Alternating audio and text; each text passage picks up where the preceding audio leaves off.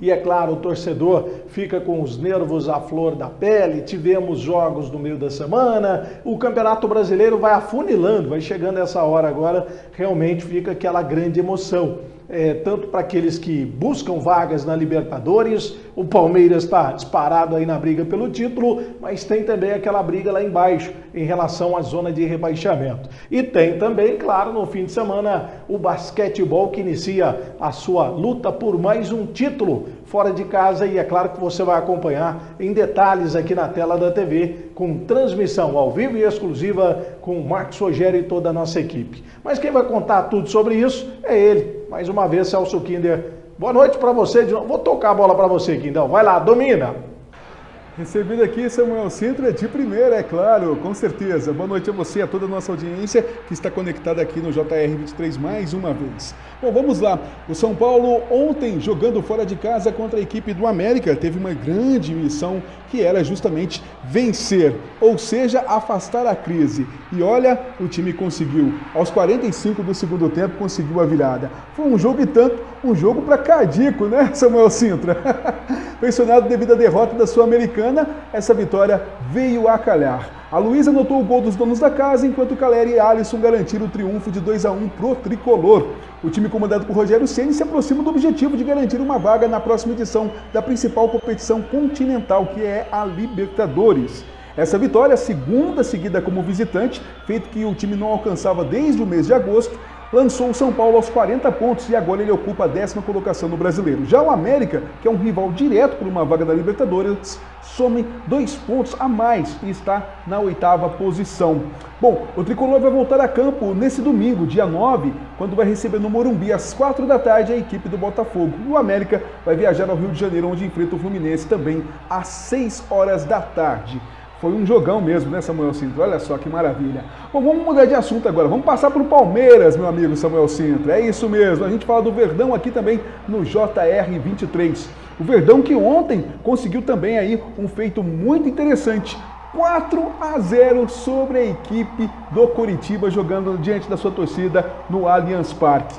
Olha que jogaço também esse que o Palmeiras fez, viu? É de tirar o chapéu à equipe do Abel Ferreira. O Palmeiras está cada vez mais próximo de conquistar o título brasileiro e ontem esses 4 a 0 deram 12 pontos de vantagem na liderança, restando 8 rodadas para serem disputadas. Os gols foram de Mike, Rony, Gustavo Gomes e Breno Lopes.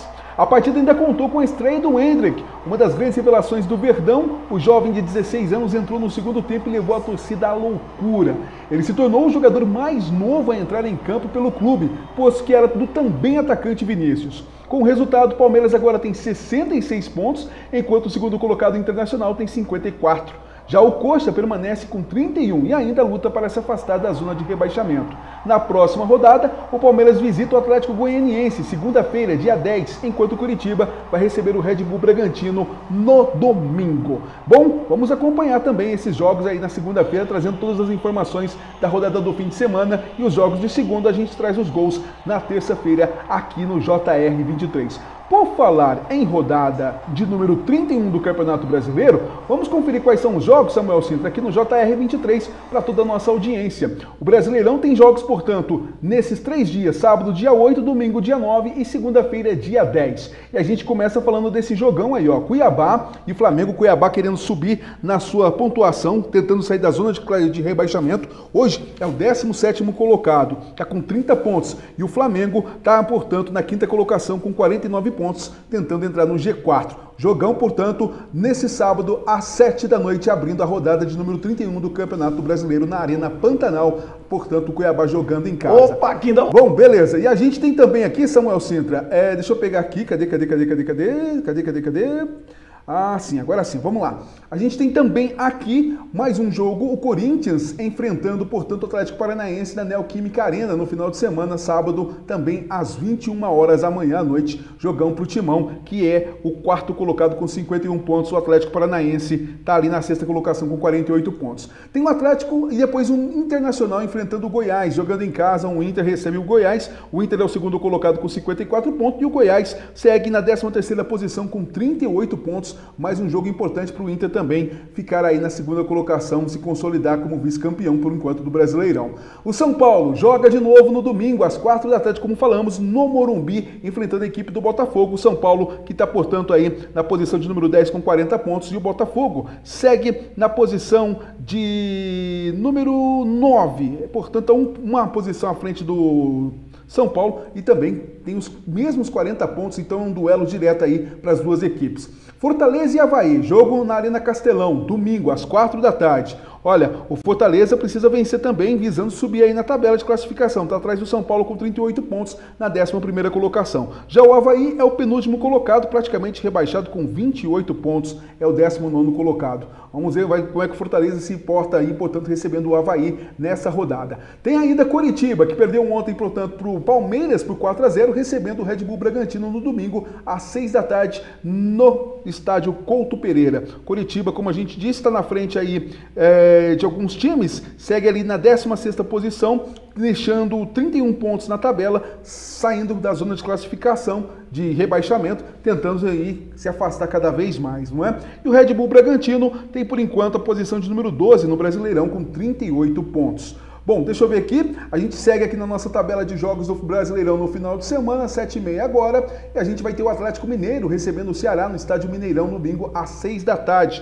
O Atlético Mineiro segue na sexta, sétima colocação com 46 pontos e o Ceará atualmente é o 15º colocado com 32 pontos. E o Brasileirão tem também aí nessa rodada muito bacana o Fluminense jogando com o América Mineiro. Fluminense recebendo no Maracanã no domingo às 6 da tarde. O Flu é o terceiro colocado com 51 pontos. E o América Mineiro segue na oitava colocação com 42 pontos, ali na frente do São Paulo, conforme a gente disse. São Paulo querendo passar. E aí tem ainda Atlético Goianiense no Antônio Ascioli. Olha só, o Atlético Goianiense recebendo o Palmeiras na segunda-feira às 6h30. Antes da gente começar aqui o JR23, o Palmeiras vai estar entrando em campo contra o Atlético Goianiense. Palmeiras líder do campeonato com 66 pontos e o Atlético Goianiense está na tabela de classificação lá na zona de rebaixamento, 18ª posição com 28 pontos.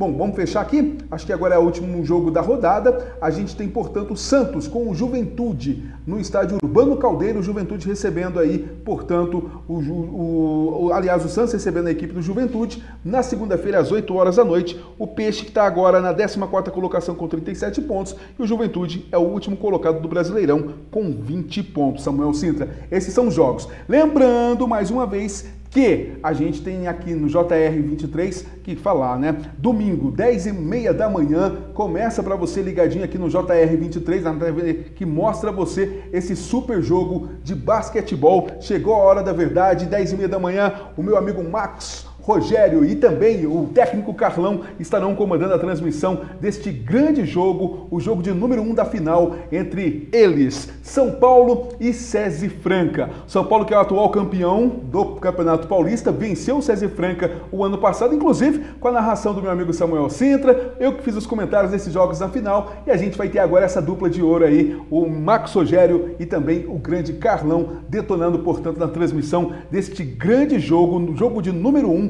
do Campeonato Paulista 2022. A partir das 10h30 da manhã estaremos ao vivo na tela da TV que mostra você no YouTube barra TV Franca, transmitindo todas as emoções desse grande jogo, desse grande duelo, duas das maiores equipes do basquetebol brasileiro e da América também. Samuel Sintra, ficamos por aqui. Bom final de semana para você. Ó, vou fazer o seguinte, vou te devolver de primeira também, já que você me mandou de primeira, meu irmão. Aqui é assim, toma lá da cá. De primeira para você também, Samuel Sintra. Vamos lá. Opa, aqui não, ó, dominei de primeira, vou sair jogando aqui, mas o JR23 infelizmente está chegando ao fim.